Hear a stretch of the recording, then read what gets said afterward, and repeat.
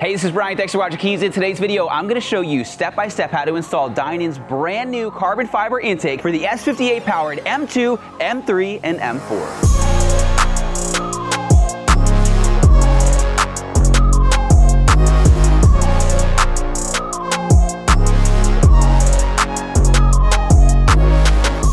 The Dinan S58 carbon fiber intake is available in either gloss or a matte finish for max underhood bling. It flows 12% better than stock for better performance, and it's also compatible with our Kies executive line strut brace, which we're gonna install while we're there. If you're looking to pick one up for your car, be sure to visit us at kies.com or see the description where we have links to all the products used, torque specs, and tools with that. Let's get started with the installation using Daehler's G81 wagon all the way from Germany.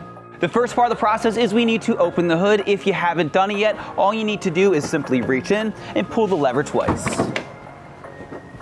Now that the hood's open, we can work on removing the factory intake, but we have a pesky brace in the way, so let's remove that. It has a 13 millimeter in the front, and then there's four 15s on this side and four 15s on that side.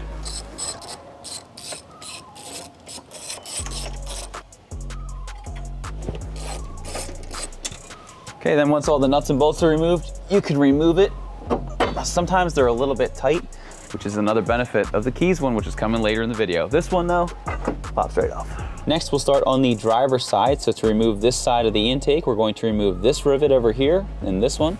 So to do so, just take a little trim tool, slide it in, and then it'll pull up just like that. Next, we're gonna get the engine cover out of the way. It's held on by four grommets. It's always best to work each corner by itself to make sure nothing's going to break.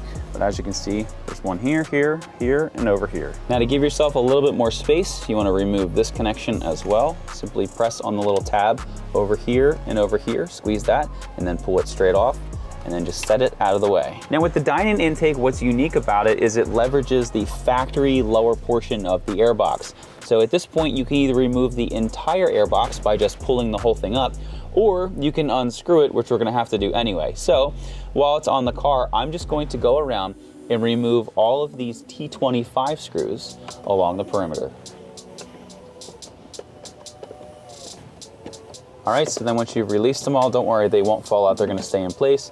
Um, just make sure that everything is loose. And then at the bottom of the intake, there's a little C-clip which actually holds it onto the turbo. So what you wanna do is reach down, release the clip by just pulling it back with a pick tool or tool that looks just like this, and then you'll be able to just pull that straight off.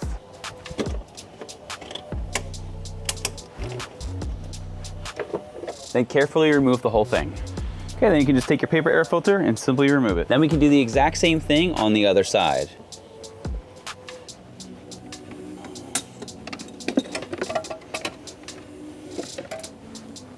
Now it's a little bit hard to see in some of these areas, so I wanna explain what we're doing. If you look at the turbo, you'll see that it has this little part where it ramps up and then there's a groove right here.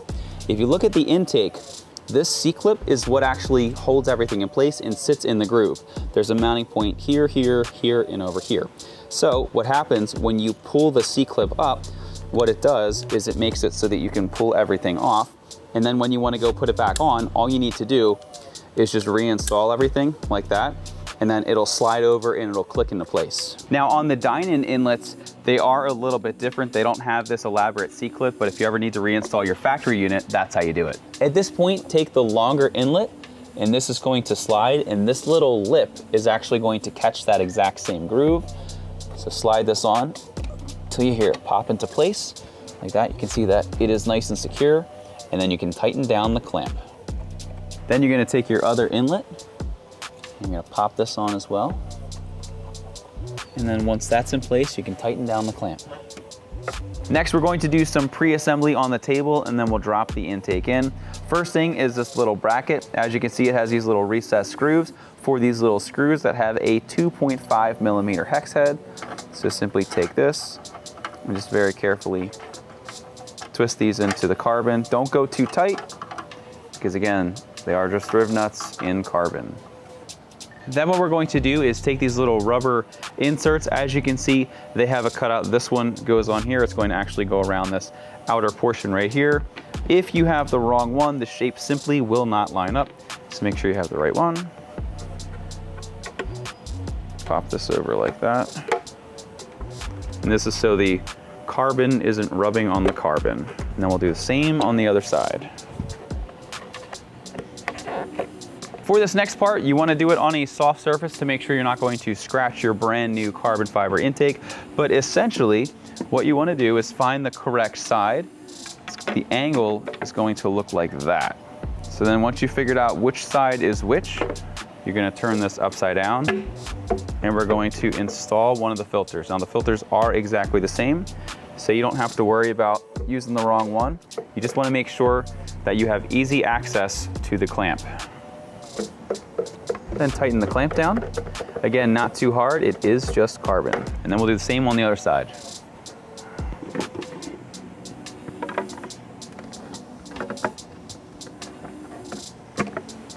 Next, we wanna make sure that that carbon does not get scratched. As you can see, there are a number of pretty sharp areas, so we're gonna take some microfibers and lay them down to prevent any damage. Next, take the smaller clamps. We're gonna put them on the inlet. We're just gonna set it on. Now, it's about to get really tight really quick. So what I would recommend is if you have a seven mil, it's going to stay on a lot easier. It's gonna be much easier than using a flat head, especially with the awkward angles. So I'm gonna go grab the intake. We're going to line these up first, make sure that this is good, and then line everything else up, then start to tighten everything down.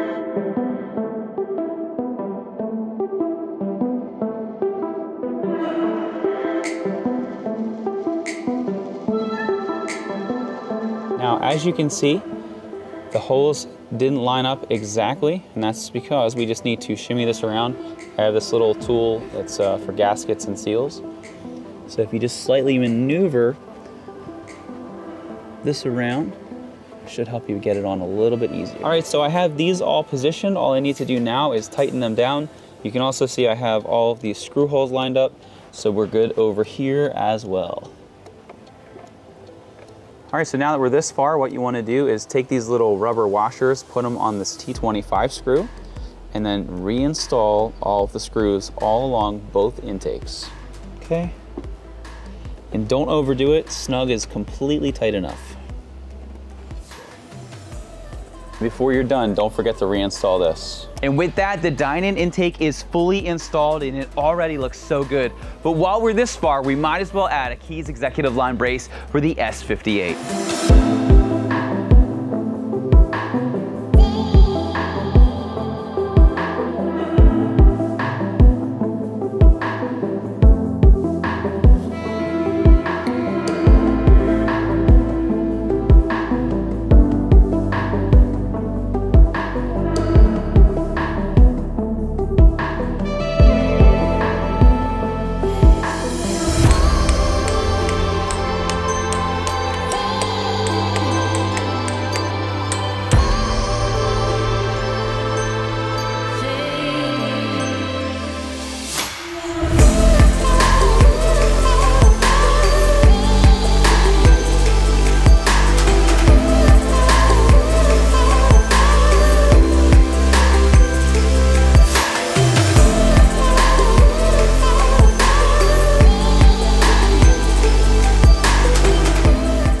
Everything's fully installed. It looks amazing, but how does it sound? Let's start it up and give it some revs.